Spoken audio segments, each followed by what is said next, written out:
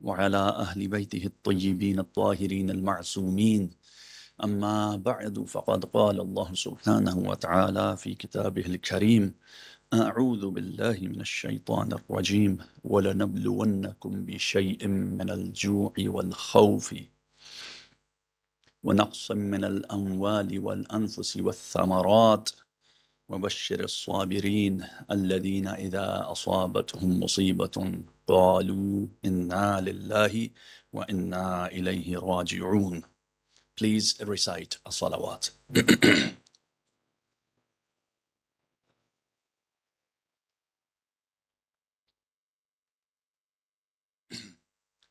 Respected listeners, my dear brothers and sisters, Assalamu alaikum wa rahmatullahi wa barakatuh.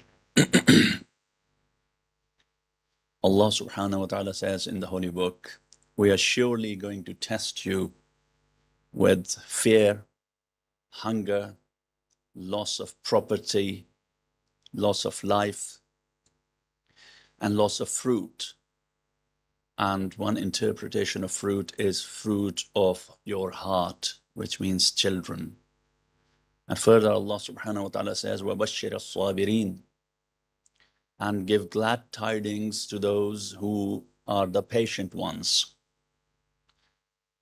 Those when a musibat falls them, befalls them, a calamity befalls them, they say, Inna lillahi wa inna ilayhi raji'un. We are for Allah, we are Allah's property, and to Him is our return.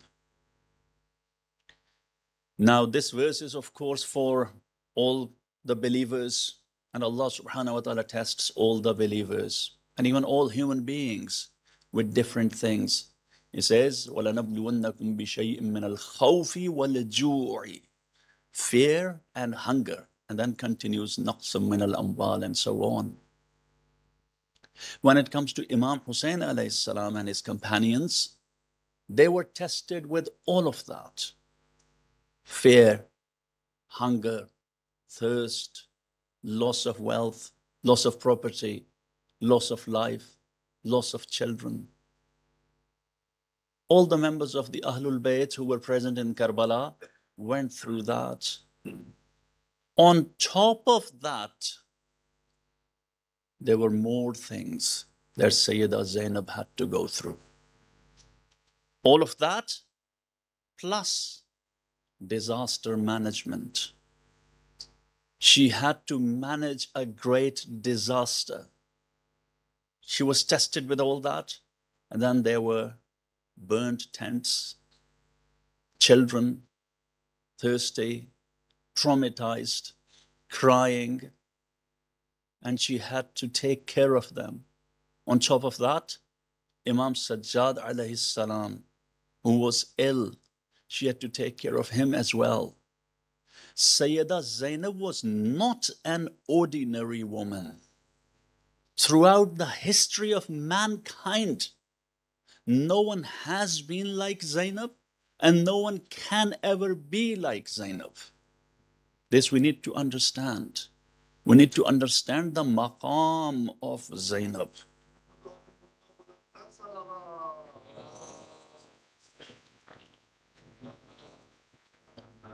It is not easy. We've been listening to the Musaib throughout our lives, Sham-e-Ghareeban. And God forbid, sometimes, perhaps, and please forgive me for saying this, we tend to take these things for granted. We do not reflect on the greatness of the deeds of Sayyida Zainab in that age and time. Today, when we get a little wound, we start to become worried. God forbid if someone's child becomes injured, God forbid, they start to lose their mind. They start to become so anxious and worried. They don't know which number to dial, what to do. Sayyida Zainab saw all that throughout the day. Throughout the day, in a distant land, foreign land, surrounded by the enemy, accursed enemy. Throughout the day, bloodshed, rattling of swords, neighing of horses, chants of the enemy, blood, blood, blood, body after body of her sons, her brothers, her nephews, and all that. And after that, what I'm going to recite in a bit, the real musibah that is going to start now. And still, she managed. She did disaster management. And there was a reason that Imam Hussein alayhi salam had handed over Sayyidus Sajidin to Sayyidah Zainab although he was her imam and he told her that she should obey him, should follow him, but still handed over. And let me say, let me say, just like Sayyidah Fatima tuz Zahra used to take care of the Holy Prophet, Sayyidah Zainab took care of Sayyidus Sajidin. That way she took care of the Waliullah, not because he was her nephew, and she had supported Imam Hussein alayhi salam not because he was just her brother. No. She had that ma'rifah. He was her Imam. He was Hujjatullah. He was Waliullah. This we need to understand. And the first episode of Karbala ended at the time of Asr of Ashur. And the second episode started. The test of Hussein ended, and the test of Zainab, Umm Kulthum, Sayyidus Sajidin, and the others started. And this test is gonna be long, hard, difficult, and let me say, much more difficult than the first episode much more difficult. Today, if we exist as believers, as Shia, today, if Islam exists, it is because of Zainab. If it was not for her, it would have ended then and there. Then and there. Today we commemorated the martyrdom of our master Imam Hussein alayhi salam.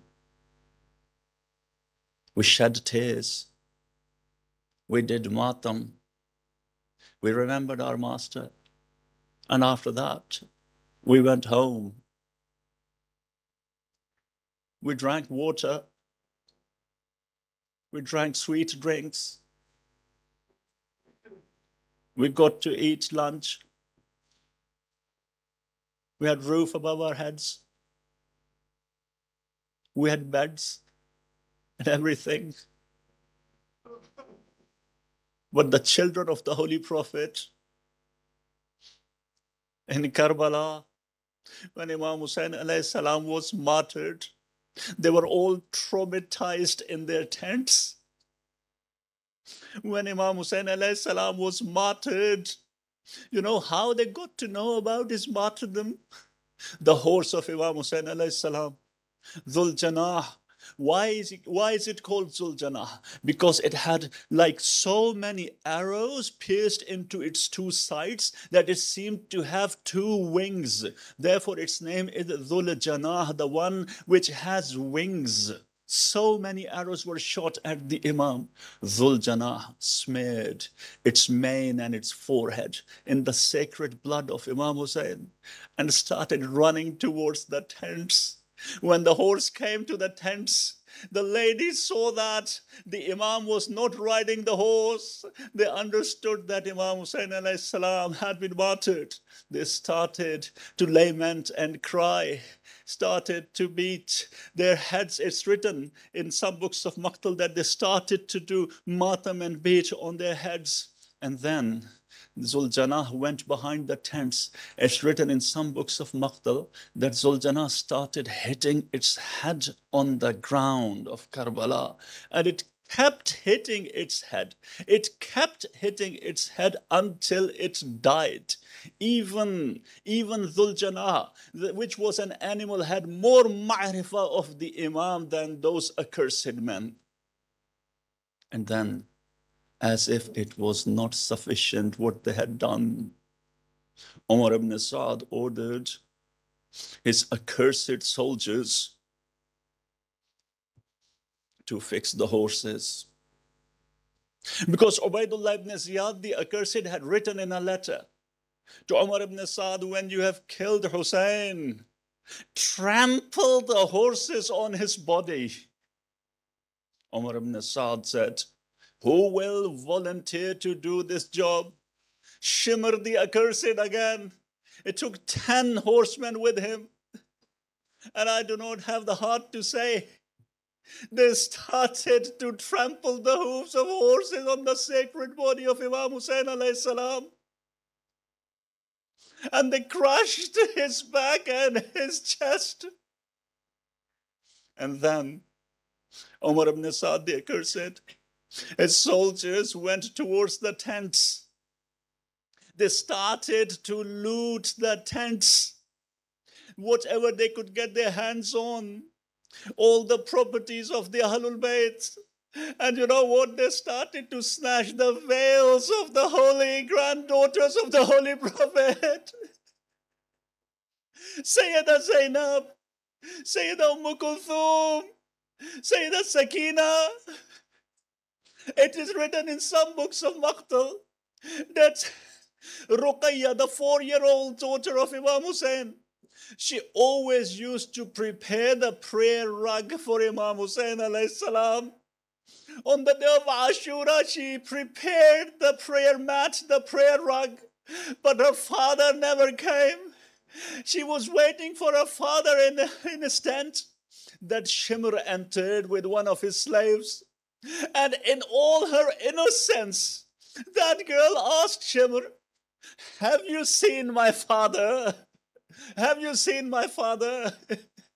Shimr the accursed became so furious. He said to his slave, Beat her up, beat her up.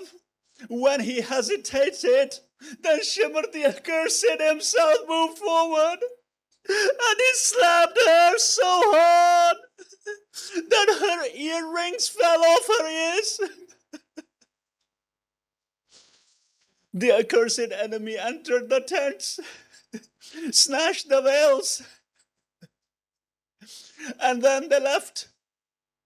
Then they came back and they found 23 children from the Ahlul Bayt, grandchildren of the Holy Prophet, 23 small children who were all on the verge of dying. It is written in some books of Maqtal they were so thirsty and traumatized that they were shivering. One accursed man, he said to Umar ibn Sa'd, if you want to take them to Kufa and then Syria, they will not survive on the way, they will die. Give them some water. Give them some water. At that moment, that accursed man did give some water to those children. It is written in some books of Maqtal. When, when Ruqayyah got some water, she started walking towards the battlefield. Someone said, What are you going to do? She said, My father was thirsty, I have heard. I'm taking this water to my father. I'm taking this water to my father.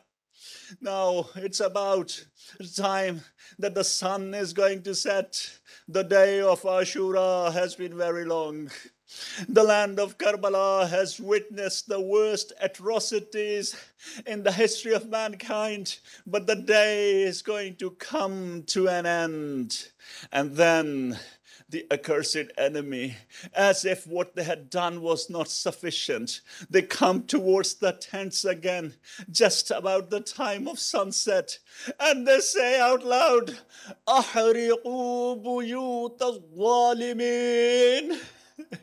Set the houses of the Zalimin on fire. Set the houses of the oppressors on fire. They called the Ahlul Bayt the oppressors. They set the tents on fire. And the women and the children, traumatized, start to run from one tent to another. In that moment, Sayyidah Zainab went to Sayyid Sajidin. Oh, my nephew, oh, my Imam, tell us what to do. Should we stay without veils inside the tents or should we run? The Imam said, Alaykunna bil firar. Go save your lives. Run out of the tents the daughters of the Holy Prophet started running in search of safety from one tent to the next, from one tent to the next. All the tents were set on fire. The women are traumatized. The children are traumatized. This ummah did not do justice to the Holy Prophet and his progeny.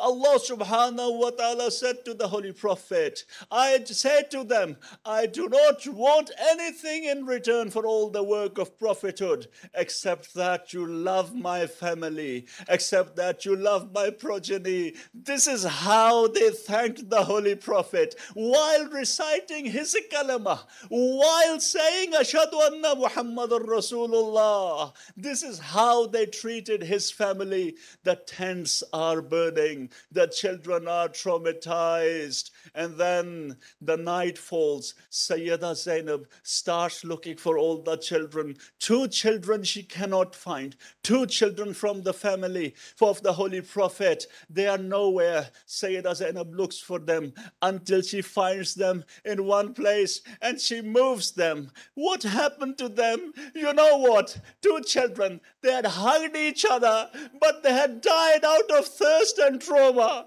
Two children. Sayyida Zainab is sitting next to the burning tents. There is fear in the atmosphere. Some children are crying. Some have already gone unconscious. Some are asleep. And then all of a sudden, she cannot find Ruqayya anywhere. She cannot find Ruqayya. The heart of Zainab starts to sink. Where is Ruqayya? Where is Ruqayya? She goes around looking for Ruqayya. She goes around, she cannot find Ruqayya anywhere. She cannot find Ruqayya anywhere. It is written in some books of Maqtal. She goes to the battlefield and she sees, she sees Ruqayya clinging onto the body a headless body. She finds Ruqayya crying and she asks, Ruqayya, what are you doing? Ruqayya says, This is the body of my father. Sayyidina Zainab brings Ruqayya back but asks, How do you know this is the body of your father? How do you know? Ruqayya says, When I went near that body, it said to me, Come, Ruqayya, come to me. Come to me. ألا لعنة الله على القوم الظالمين. ربنا ظلمنا أنفسنا وإن لم تغفر لنا وترحمنا لنكونن من الخاسرين. اللهم صل على محمد وآل محمد وعجل فرجهم ولعن أعدائهم أجمعين. والسلام عليكم ورحمة الله وبركاته.